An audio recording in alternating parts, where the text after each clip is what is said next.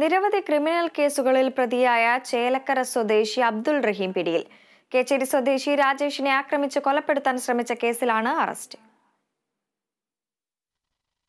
Kunnamkulam station house officer U K ഷാജഹാന്റെ നേതൃത്വത്തിലുള്ള police സംഘമാണ് പ്രതിയെ അറസ്റ്റ് ചെയ്തത്.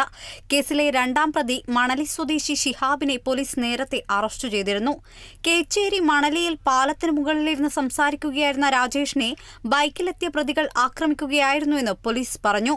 പ്രതി കത്തിക്കൊണ്ട് പരാതിക്കാരന്റെ കഴുത്തിന് കുത്താൻ ശ്രമിക്കുന്നതിനിടെ കൈകൊണ്ട് തടഞ്ഞതോടെ കൈക്ക് ഗുരുതരമായി പരിക്കേറ്റിരുന്നു.